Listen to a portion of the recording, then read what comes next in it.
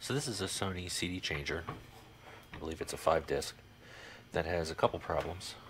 Uh, one is that the tray does not go back in. It's locked open. And usually that'll happen if somebody bumps it while it's open. I was told that this one uh, was opened and it didn't close afterwards, but I have a feeling that it was bumped when that happened. And it usually will cause it to skip a gear and it gets locked in place. The other issue is I was told that the disc platter doesn't spin and they had to force turn it to get the discs out, uh, which is not good because you can break a gear. But so we're going to take this apart, try and unjam the drawer and replace any belts that are needed. And I'm going to show you how to do that. So first things first, turn it on. You see when you when we first turn it on, it the drawer does move a little bit. It's trying to pull it in, but it can't. So that tells me that that belt is at least still attached, although it may be loose. On the back of these, there's usually a little screw hole that you could use to manually, if the belt should break and you want to close the drawer or it closes, or it breaks while the drawer is closed, you can manually open or close the drawer. However, being that it's jammed, I don't want to twist it too hard because I don't want to break it. Um, so what we want to do is take it apart. Always make sure you unplug it before you take it apart.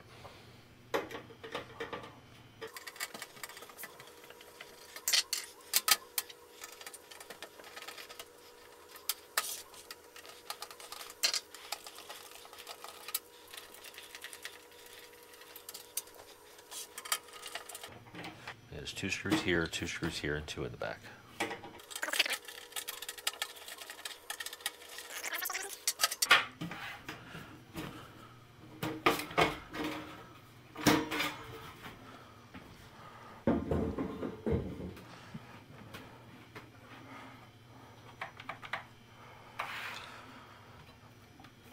All right, and on model, we're going to want to take the, the front of it off. But before we do that, let's take the bottom off.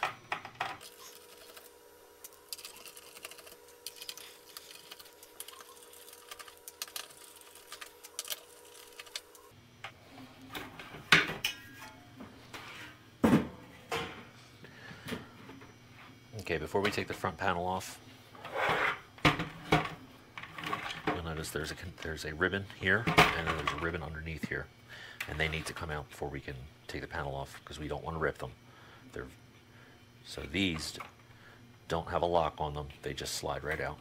Some of them have a lock that you have to flip the little, you know, to flip the little tabs out first, but these don't. So you just slide them out.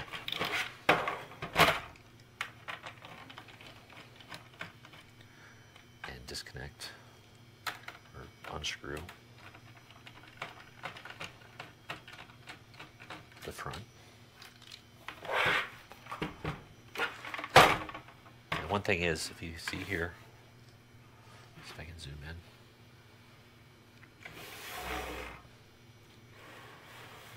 There is a belt, and this is the, the gear, the motor, and the belt. This is what opens and closes the drawer. You notice that belt is a toothed, it's got some teeth on it. If you can see that too well. If you have to replace this belt because it's broken, it's right on the bottom. You don't even have to take the top off, you can just take the bottom off and put the belt on, put the bottom back on, and you're back in business. This one seems to be okay. It's a little bit loose, but it's still actually biting. So that one will be okay for now.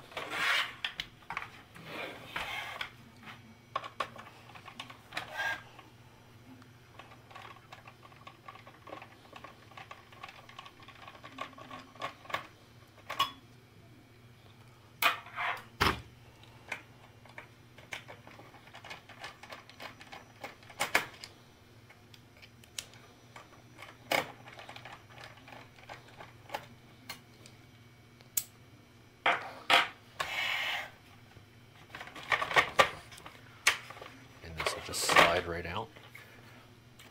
Some CD players have a front bezel that has to slide out for, for the cover to come off, but this one doesn't. However, it does have a bezel, but it doesn't need to come off to get the panel off.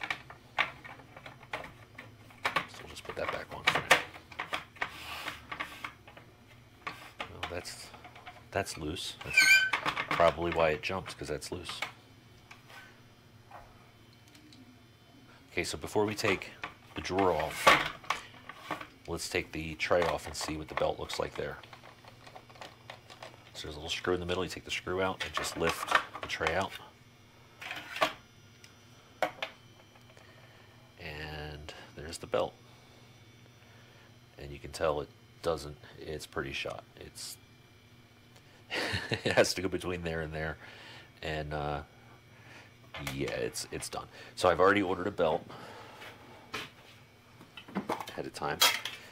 It's not a bad idea to, you can either order a direct replacement like I've done, because none of the other belts I have will fit, since I've done these before.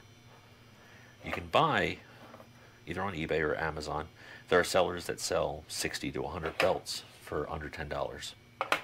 And they're of all different sizes, and you can use those just to have on hand should you need to replace any on any of your equipment.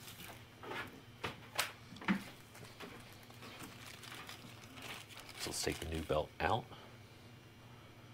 And you just slip it on and roll it over. And there we go. And put the tray back on. You don't have to put this tray on in any specific order.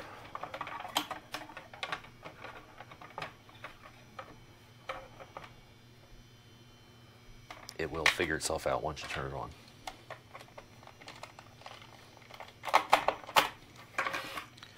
Now let's get this whole drawer off.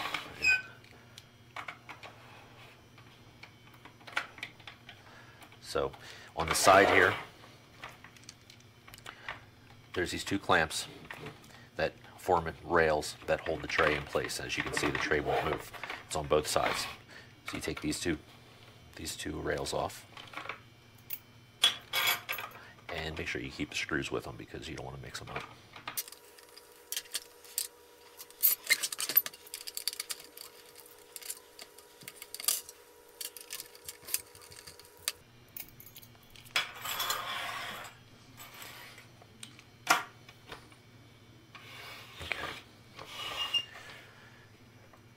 Now that that's off, just lift the tray out. Or the drawer, I should say. And it doesn't look like anything's broken. Now, one thing I will say is it was my mistake. When you pull this out, make sure that there's no, no ribbon connections because you don't want to break any. Luckily, that one didn't break, and that's also not a locker, so that just pulls right out.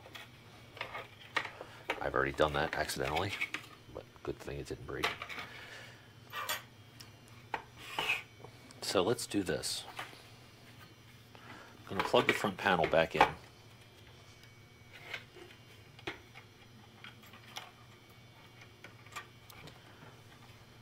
Because these gears, these sprockets have to be aligned just right for this tray to work properly. And I'll show you how to do that. It's, it's very simple.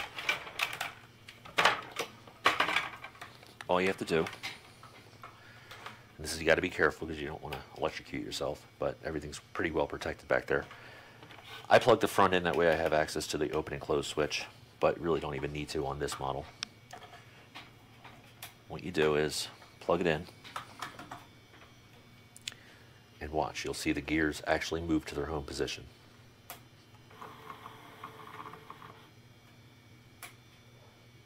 So now the power's back off. I'm going to turn the power back on just to show you how it fixes itself again. See, that's its home position. That's where it wants to be. So we're going to unplug it. Unplug this. And first things we're going to do is we're going to plug the tray back in.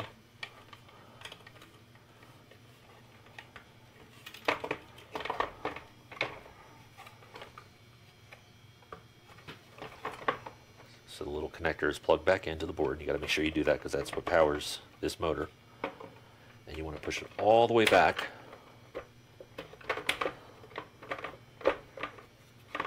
And try to get it to rest on one of those, those gears. So there.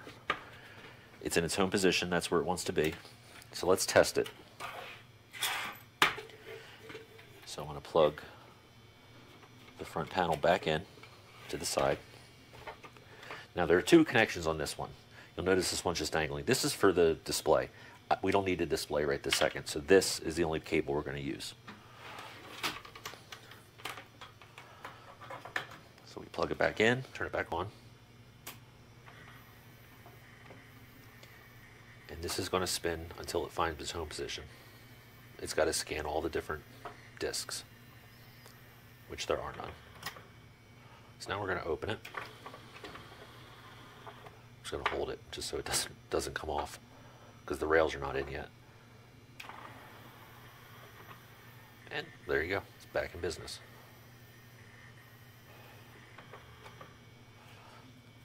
So we're going to kill the power.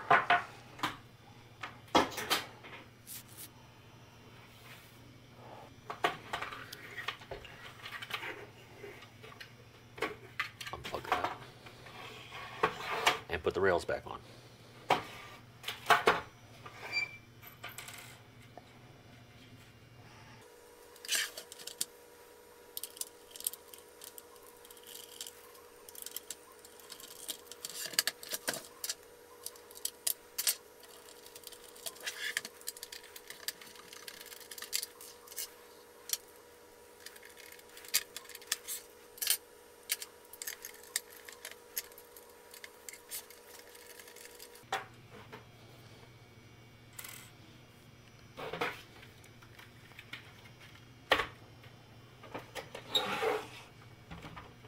And you will be touching the board, so make sure that you have it unplugged.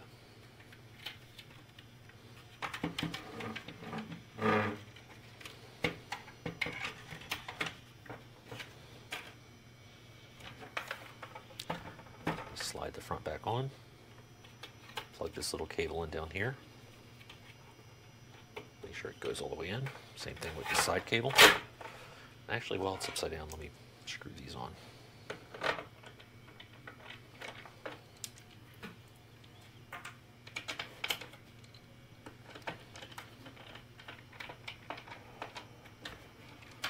I'll just keep it from coming apart. There's that little connector. Just plug this back in.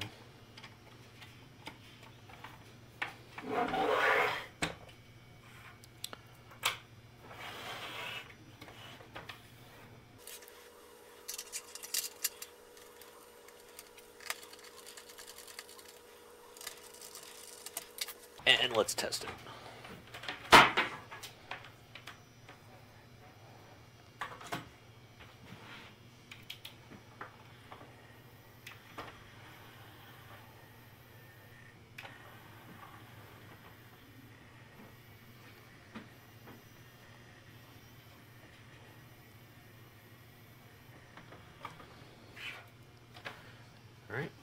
Unplug it, put it all back together.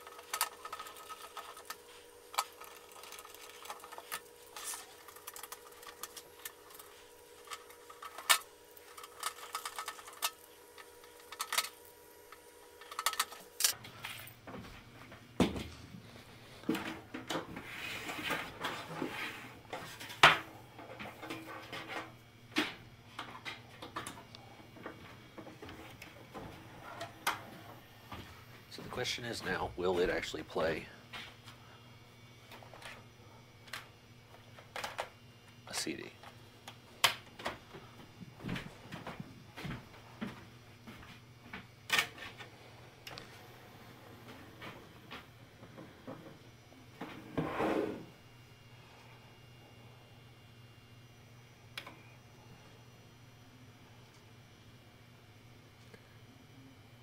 There you go. Disk exchange works.